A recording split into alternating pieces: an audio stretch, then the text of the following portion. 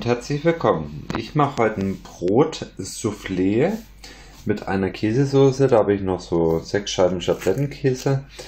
Ich habe wie gesagt altbackenes Brot, das ist auch schon ein bisschen härter. Das sind so sechs Scheiben und einen Kanten, die wie gesagt nicht wegschmeißen. Da kann man ein schönes Soufflé draus machen.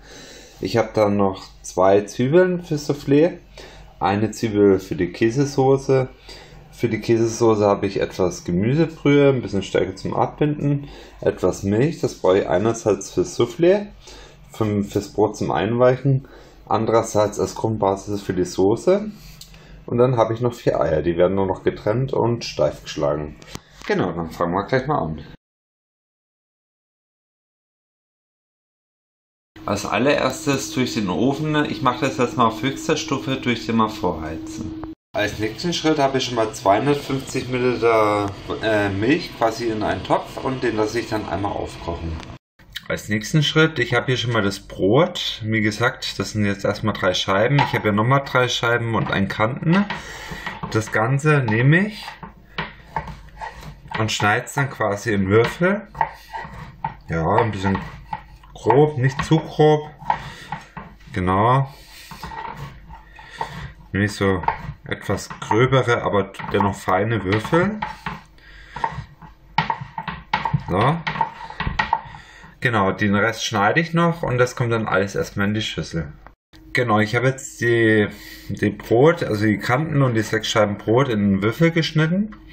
Das Ganze wird dann, sobald die Milch kocht, quasi mit den 250 ml Milch übergossen, sodass das Brot schon mal anzieht. In der Zwischenzeit tue ich schon mal die Zwiebeln schälen und in feine Würfel schneiden. Die Zwiebeln habe ich schon mal geschält, die Milch ist einmal aufgekocht. Ich gebe das jetzt quasi einmal übers Brot drüber, dass sich das richtig schön voll zieht. So. Genau, das Ganze stelle ich auf Seite, lasse es einweichen, nimm schon mal zwei Zwiebeln, tu die in feine Würfel schneiden und gib die dazu. Genau, die Zwiebeln, die schneide ich jetzt in feine Würfel. So. Genau, das reicht schon. Die zwei schneide ich noch und dann gebe ich das gleich rein. Die Zwiebeln habe ich in feine Würfel geschnitten. Ich gebe sie jetzt einfach hier mit dazu. So, einmal so. Da nehme ich quasi einen Pfeffer, ein, eine Kelle oder wie auch immer. Das wird dann schon mal ordentlich quasi verrührt. Hoppala. Genau, und das Ganze darf jetzt noch durchziehen. Als nächsten Schritt, ich habe eine zweite Schüssel quasi fürs Eiweiß. Das Eigelb gebe ich gleich rein. Das heißt, ich nehme das Ei, trenne es vom Eiweiß, tue das Eigelb rein. Das mache ich mal gleich fertig.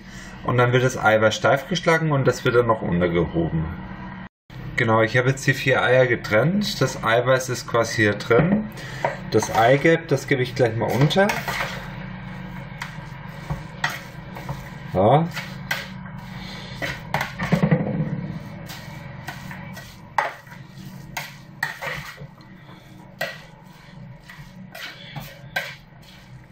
Das hat schon eine gute Konsistenz. Das muss schon ein bisschen klebrig sein. Das ist gut.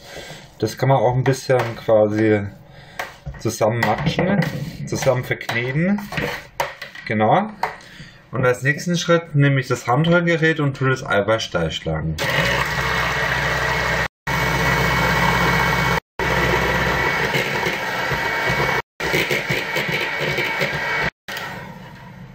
Genau, das Eiweiß ist steif geschlagen. Ich nehme jetzt quasi, das kann man ruhig mit dem Schöpfer machen, das Eiweiß komplett hier rein.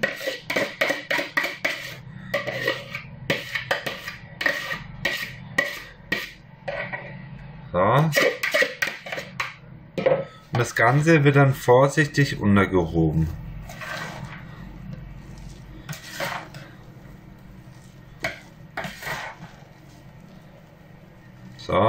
Das hebe ich jetzt mal unter, dass das eine richtige fluffige Masse wird. So.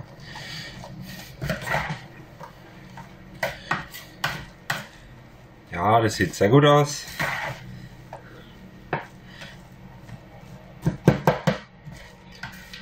Genau, damit ist die Grundbasis, die Grundmasse fertig.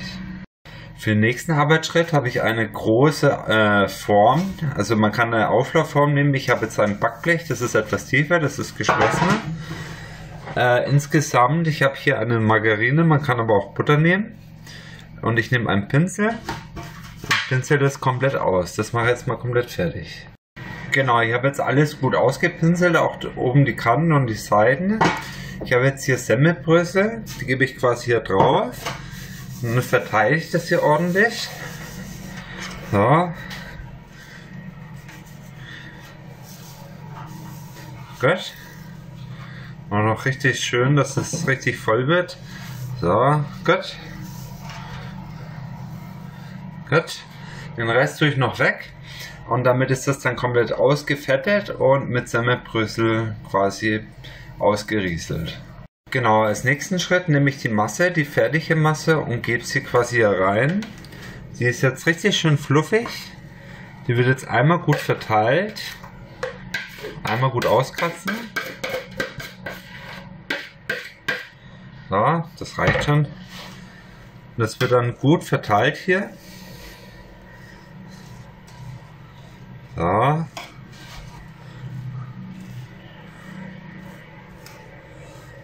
Genau, sehr schön. Das wird dann auch ein bisschen glatter gemacht, dass das eine schöne homogene Masse ist. So. Das Ganze geht jetzt für eine mindestens eine halbe, dreiviertel Stunde in den Backofen.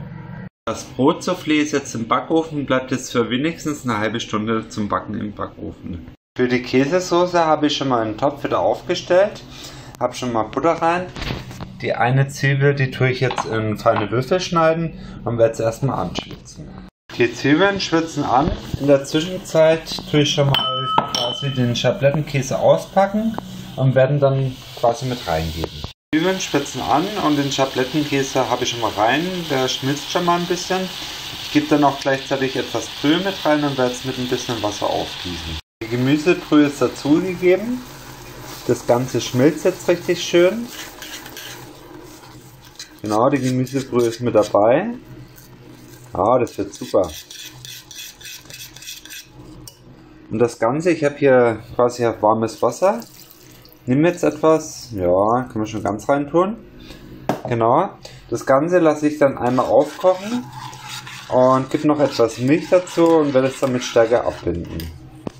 Für die Stärke, ich habe jetzt ein bisschen Wasser mit rein, das Ganze löse ich auf und das ist dann für die Soße zum Abbinden. Genau, die Soße kocht langsam auf, die Stärke ist schon mal bereit. Ich habe hier noch etwas Milch. Komm, gebe ich noch ein bisschen Milch dazu. Oh, da schaut nicht was rein. Genau. Das Ganze muss jetzt einmal aufkochen und wird dann mit der Stärke quasi abgebunden. Die Soße köchelt jetzt schon so langsam. Gebe quasi die Stärke rein. So. Das Ganze wird dann abgedickt.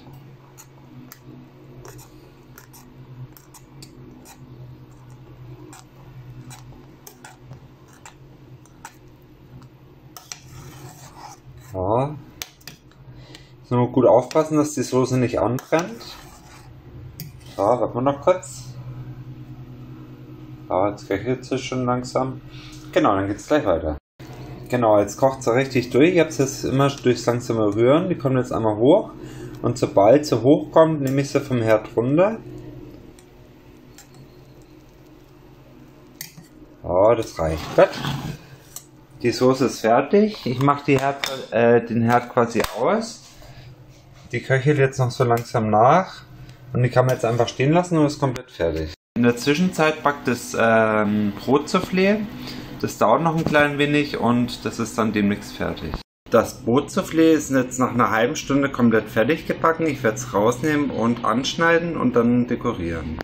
Genau, ich habe hier das Brotsoufflé, da die Käsesoße, ich habe zwei Teller. Ich werde es quasi im Blech anschneiden, so schöne Stücke rausschneiden und dann komplett hier anrichten. Genau, ich habe jetzt quasi immer drei Stücke rausgeschnitten, habe die aufeinander gestapelt, in die Mitte die äh, Soße, die Käsesoße, habe noch fünf Tomätchen außenrum, ein paar Gurkenwürfelchen, Genau, und damit ist es komplett angerichtet und fertig. Ja, wir lassen es uns jetzt richtig schön schmecken. Ich wünsche euch damit ganz, ganz viel Spaß beim Nachkochen. Dann bis zum nächsten Mal, liebe Grüße, euer Daniel. Tschüss.